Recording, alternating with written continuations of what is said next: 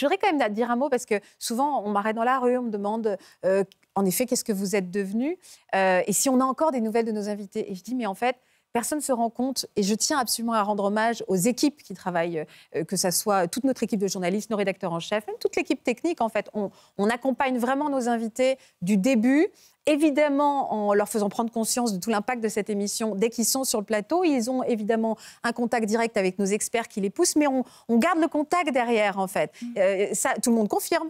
On, vous rappelle, on se tient au courant. Je sais qu'il y a des amitiés. Moi, je vois souvent nos journalistes qui sont bouleversés, qui s'attachent. Euh, nous, on est à l'antenne, on le voit, mais derrière, il y a toute une équipe qui vit les mêmes émotions que nous. Je tiens à leur rendre hommage.